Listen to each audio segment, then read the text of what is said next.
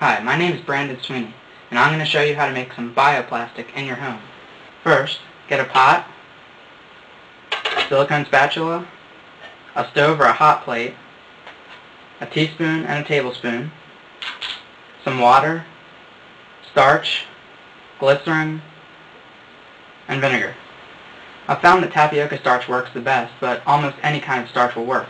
Before you start, get a silicone heat pad like this, or some aluminum foil so you have something to spread the starch on for it to dry. First, measure out one tablespoon of cornstarch,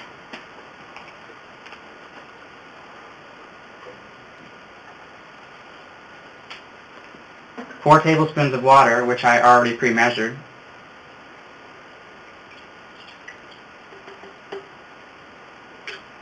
a teaspoon of glycerin,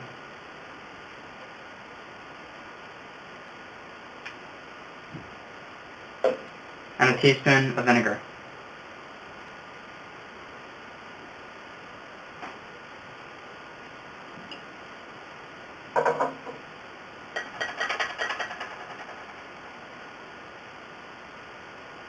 Mix everything while it's still cold, and once everything is thoroughly mixed, then you can turn the heat on low.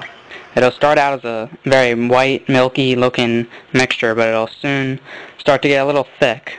You can see it's going to start to clump up, and it'll look like toothpaste in a second.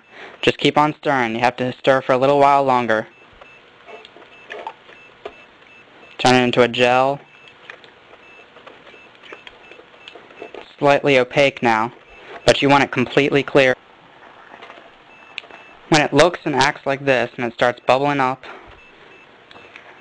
and about this consistency, it's done. So just keep on stirring for another couple seconds. Turn off the heat.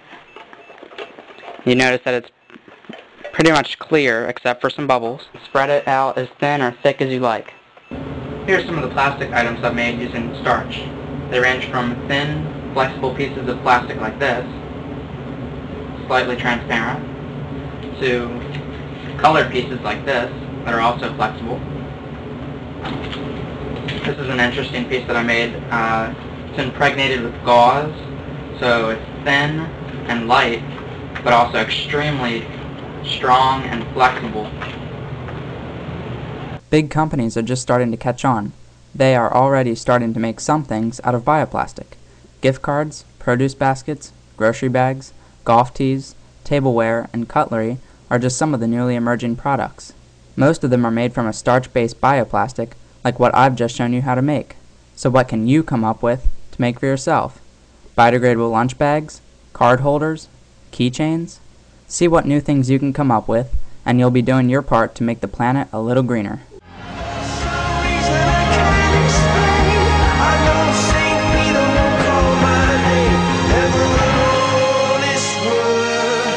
that was when I